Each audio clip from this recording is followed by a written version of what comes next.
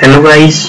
So now now i'm going to teach you how to hack a wi-fi. It is just not hacking. Actually it is a mad hack to find wi-fi password which is already connected with us. So let's start guys if you have a window 8 then uh, in sidebar you just just see the short option. Here and type command command prompt. Okay just click here of all and you check your Wi-Fi name which is connected to you. TP link 9716 okay. So here is. We have something. This is a, our command.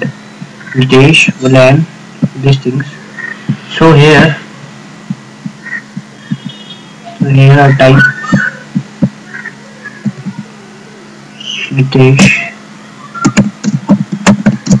line show profile okay after that your Wi-Fi name what is Wi-Fi name TP link 9716 TP link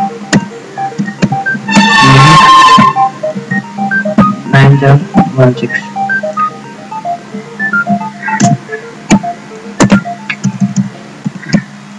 to e here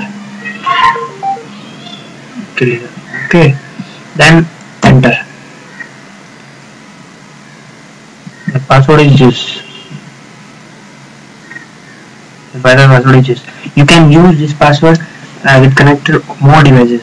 You can connect more devices with Wi-Fi. Enjoy the videos. Share subscribe my channel. I will share you many videos. Thanks friends. Thanks